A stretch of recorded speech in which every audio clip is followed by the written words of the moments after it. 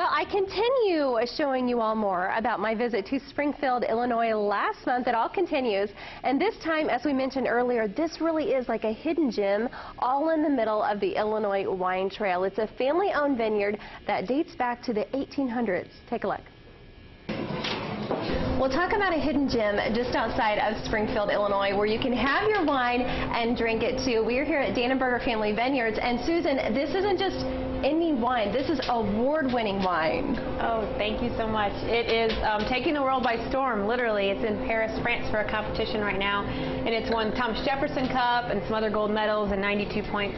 It's Cabernet Franc, and we grow it here. I grow red grapes here, and we source our whites from other growers, fabulous growers in the state. There's 17 acres of grapes in the state of Illinois. Oh, wow. It's amazing. That is really cool. I know this is definitely a family business, but this is also part of a wine trail, like throughout central Illinois as well. Yeah, we're concentrating on the land of Lincoln Wine Trail. It's in the center of the state. There's several in the southern part, along the river, and in the northern part, and now we're just joining the community. Well, again, there is so much here to do. We're, that's just like the tip of everything that uh, this vineyard has to offer. So if you want to find out more, if you want to come visit, do just that. It all happens in Springfield, Illinois. You can find out more. Thank you so much, Susan, Oh, at. IndyStyle.tv.